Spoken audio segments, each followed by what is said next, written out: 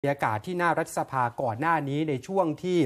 เริ่มมีการเริ่มประชุมสภา ในการเลือกประธานสภาผู้แทนราษฎรในวันนี้ ที่มีกลุ่มมวลชนที่มารอให้กำลังใจของฝั่งพรรคเก้าไกลอยู่ทางด้านหน้าตำรวจเนี่ยก็ขอให้ย้าย ผู้ชุมนุมกลุ่มออกมารวมตัวห่างจากอาคารอยู่ 50 เมตรค่ะตรงนี้จะเป็นประกาศของทาง ตำรวจของกองบัญชาการตำรวจนครบาลในเรื่องของประกาศการชุมนุมสาธารณะคุณผู้ชม จะเห็นว่าบริเวณตรงสนามหญ้านะฮะตรงนี้จะเป็นประตู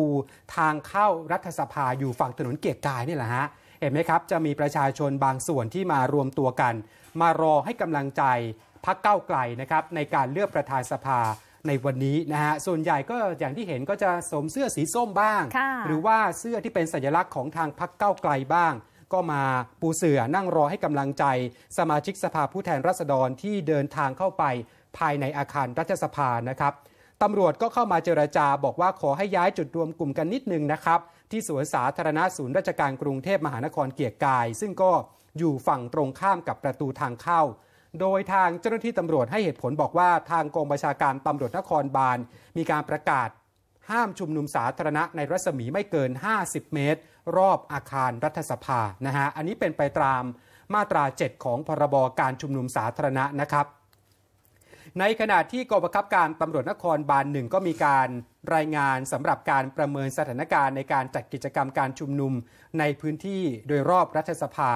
ห่วงระหว่างตั้งแต่วันที่ 3ก็คือเมื่อวานนี้นะครับต่อเนื่องไปจนถึงวันที่ 6 กรกฎาคมนี้ จะเป็นช่วงที่มีการเปิดประชุมสภาผู้แทนราษฎร สมัยประชุมครั้งแรก เพื่อ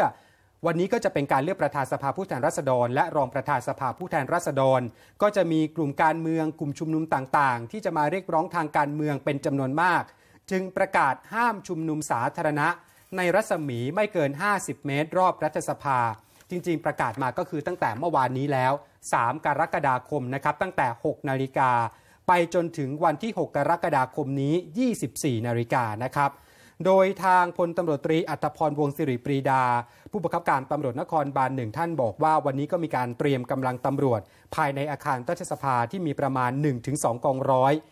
การประเมินสถานการณ์ในเบื้องต้นคาดว่าจะไม่มีความรุนแรงอะไร และสถานการณ์โดยภาพรวมนั้นน่าจะเป็นไปด้วยความสงบเรียบร้อยนะฮะค่ะ